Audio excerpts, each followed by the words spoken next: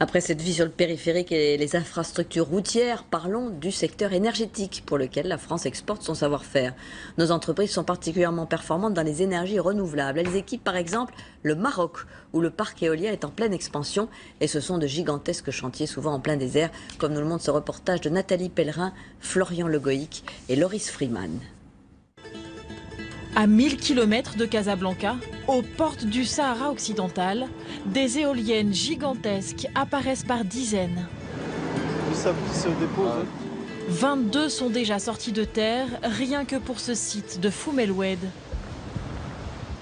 Une éolienne produit environ 10, 10 millions de kilowattheures. C'est l'équivalent de la consommation de 15 000 foyers.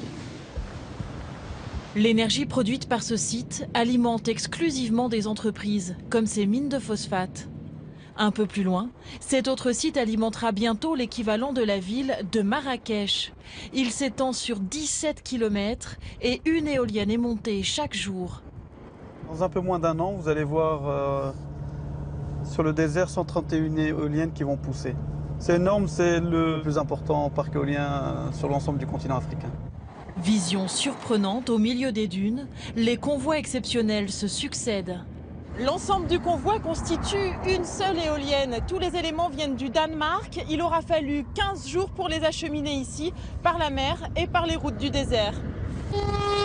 Une seule pale mesure 50 mètres de long et le chantier emploie jusqu'à 700 personnes. Des experts viennent d'Écosse ou d'Italie pour des opérations souvent délicates. Quand la pale se met un peu de biais comme ça, le vent la pousse beaucoup trop. Et avec un site deux fois plus venteux en moyenne qu'en Europe, il a fallu adapter les turbines. Les turbines euh, éoliennes, elles sont, elles sont dotées d'un système de, de, refroidissement à l'intérieur pour permettre euh, de refroidir les équipements électriques à l'intérieur et également euh, donc de systèmes de, de, filtration de sable. Ça, c'est spécifique à la région donc, du, du sud et du Sahara. L'enjeu pour le Maroc, devenir indépendant énergétiquement et produire suffisamment d'électricité pour se passer des importations d'Espagne notamment.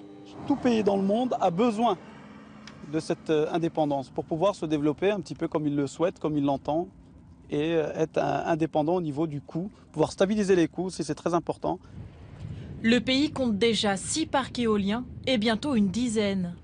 À Tanger, les éoliennes tournent depuis trois ans et l'ONE, l'Office national d'électricité, a fait le bilan. Notre champ d'éolien euh, nous permet d'économiser 168 000 tonnes de fuel par an. C'est à peu près, c'est environ 10% de, de, la consommation de l'ONE en énergie fossile. À terme, le Maroc aura investi 3 milliards et demi d'euros pour devenir un modèle en production d'énergie verte.